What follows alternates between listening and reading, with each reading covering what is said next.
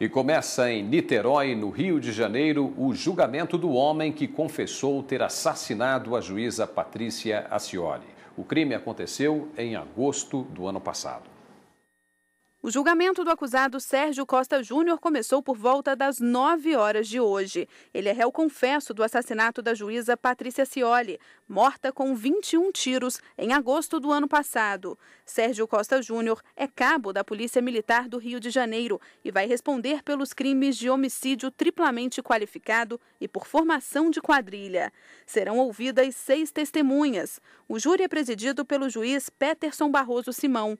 Outros dez acusados de envolvimento no crime ainda serão julgados. A pedido do juiz, a segurança no fórum foi reforçada.